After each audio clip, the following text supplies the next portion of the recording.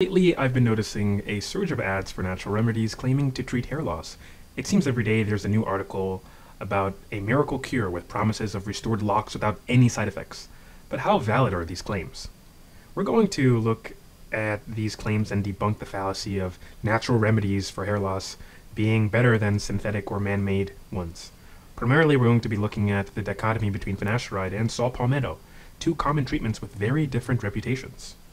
Finasteride is a proven FDA-approved treatment that reduces DHT levels, which in turn helps slow or halt hair loss.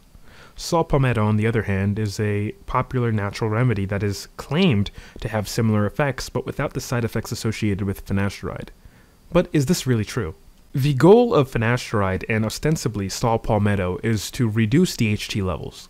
But let's take a moment to recognize that attempting to fight hair loss in and of itself goes against nature. Hair loss is often a result of genetic expression, and by trying to prevent it through the use of these products, whether natural or man-made, we are indeed attempting to manipulate nature. So right off the bat, the whole natural fallacy, natural or nature being good for you, we're kind of going against that if we're trying to stop hair loss or male pattern baldness.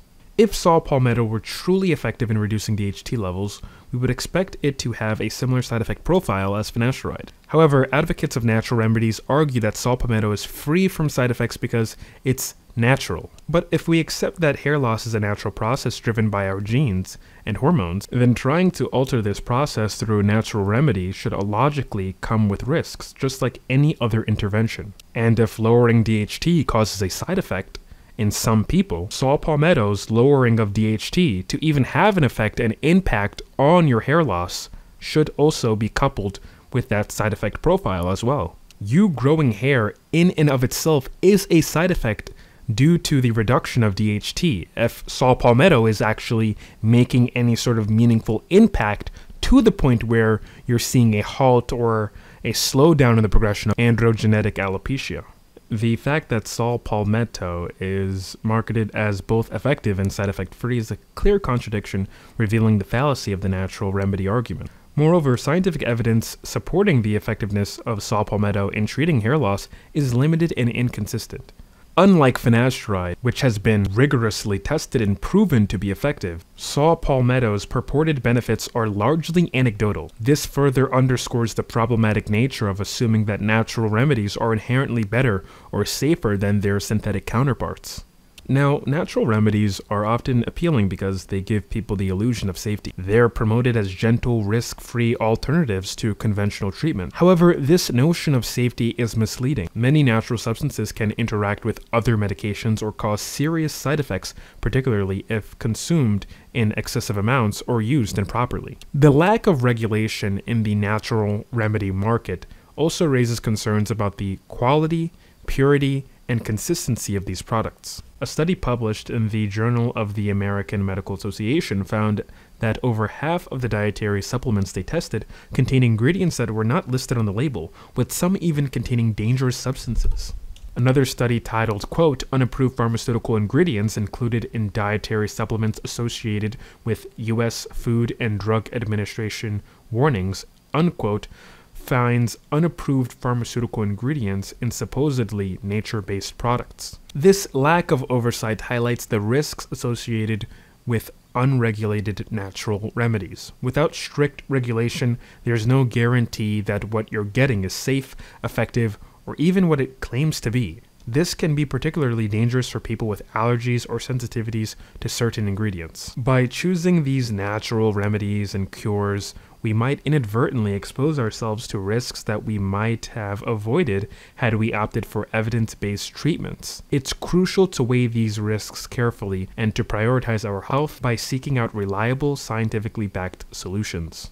Now, the power of the placebo effect. It is very important to consider this effect in the perceived success of natural remedies.